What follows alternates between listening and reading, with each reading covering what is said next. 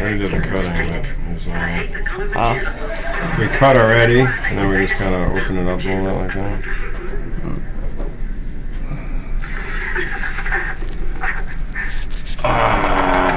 So we know if I'm in your way. That hurts so bad. that's. Can I ask you a question?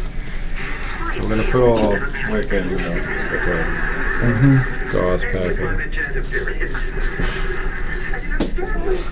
Feel like I get throw up. It smells bad. It smells atrocious. Elegant charm, and please. And of course, I was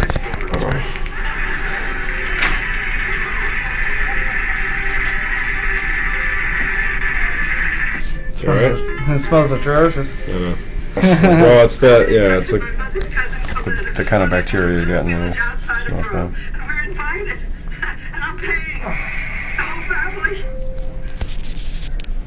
You alright? Your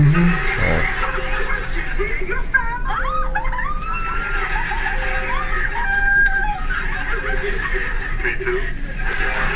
Alright, I'm done. Put the dressing.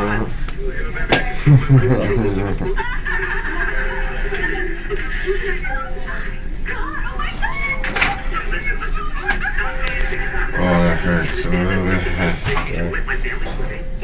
hurts.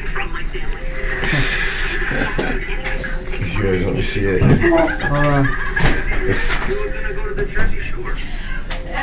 It doubles as a, a toilet weapon too. What do you do? Stitch it up now? No, you leave it open so it Oh. drains. You want it to drain, otherwise you switch it up and it won't drain. Oh. When I come back, you get checked. Then you guys stitch it.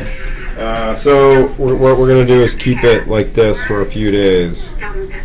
Um, we're gonna come back in a couple days and get it checked, and they maybe we'll put a new one in if it looks better. If it's looking a little bit better, if it looks I just want to say this totally better, they'll take it out and leave it out. Mm-hmm. Okay.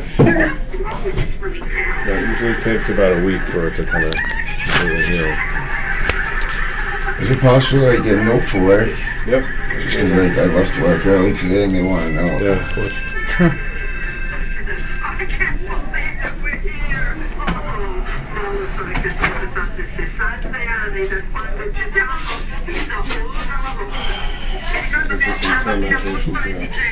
What do you do? You pull the thing out, right?